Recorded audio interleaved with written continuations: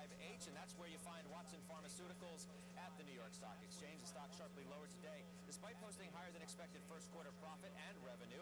Company's net income rising 22% to $55 million. That was due in large part to strong growth from its generic drugs.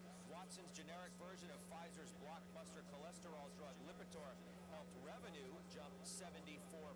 As a result, the company raised the low end of its full-year earnings guidance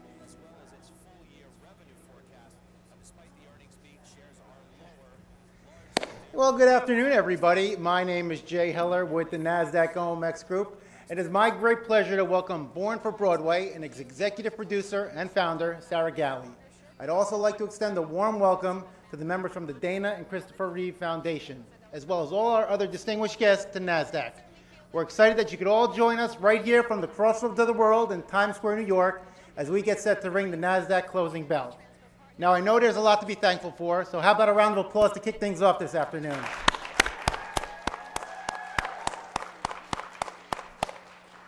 Now, Born for Broadway was created nine years ago as a student sponsored cabaret at Marymount Manhattan College, where Sarah Galli was enrolled as a performance major.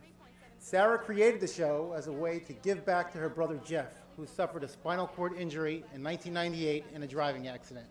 He became a quadriplegic with a very similar injury to that of Christopher Reeve. Born for Broadway spotlights the passion of the theater community with fundraising for a cause. Now, the evening benefits the Christopher and Dana Reeve Foundation, which is dedicated to curing spinal cord injury by funding innovative research and improving the quality of life for people living with paralysis through grants, information, and advocacy. The Christopher and Dana Reeve Foundation has announced the cast for its third annual Born for Broadway benefit, which will take place at the American Airlines Theater, 227 West 42nd Street on Monday, May 21st, 2012 at 8 p.m. Sarah, I'd like to thank you for all that you do and wish you success with your upcoming event. Now, everybody, please give me a loud round of applause for the executive producer and founder, Sarah Galli, to come to the podium to give a few more comments.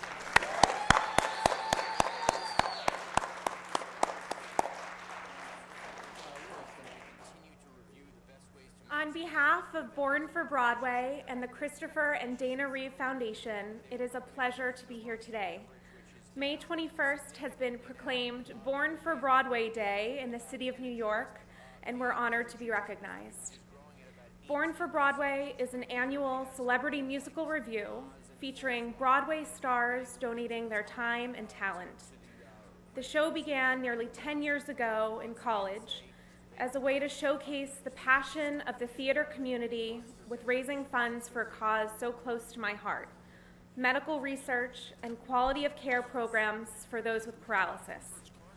My brother Jeff is a quadriplegic, and the event continues to thrive, honoring him and the 5.6 million Americans with paralysis.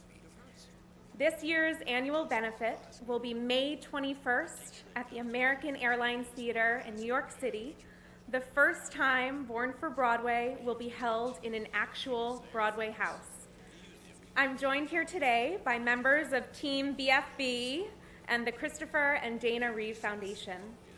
We thank you for allowing us to be part of such a special experience. To learn more about us, please visit bornforbroadway.com.